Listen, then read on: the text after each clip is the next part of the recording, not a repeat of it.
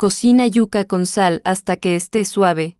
Unos 15 minutos depende de la yuca. Tritura la caliente. Pon unos trocitos de margarina y amasa.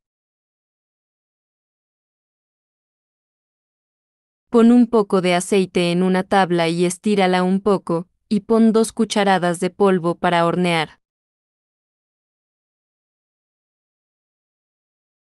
Estira la yuca en una bolsa bien limpia.